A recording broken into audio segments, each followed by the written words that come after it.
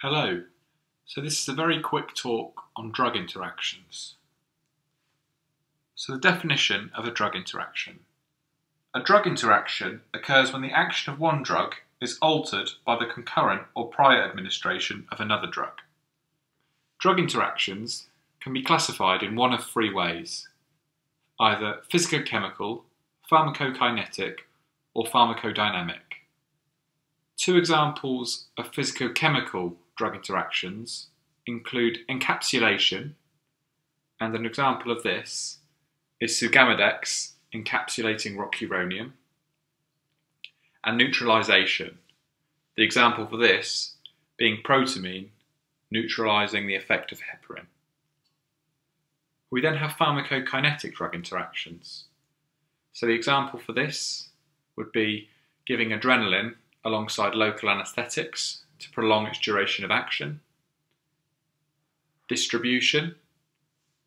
For example, when we give aspirin alongside warfarin, aspirin displaces the warfarin from the protein molecules, therefore increasing the availability of warfarin to take its effect. Metabolism. For example, the P450 enzyme system. We have enzyme inducers, which include phenytoin, carbamazepine, rifampicin, and barbiturates, and enzyme inhibitors, which include omeprazole and cimetidine.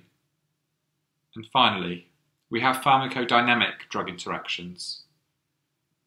And the different types of pharmacodynamic drug interactions include summation.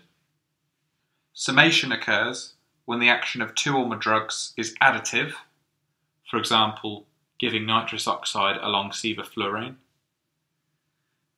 Synergism, and this occurs when the combined action of two or more drugs is greater than the sum of their individual effects.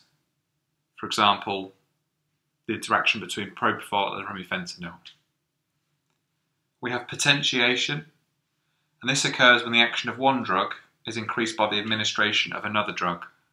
For example, probenecid increases the action of penicillin by reducing its renal excretion. And finally, we have antagonism. And the best example of this would be naloxone antagonizing the effect of morphine directly at the receptor site. Thanks for watching.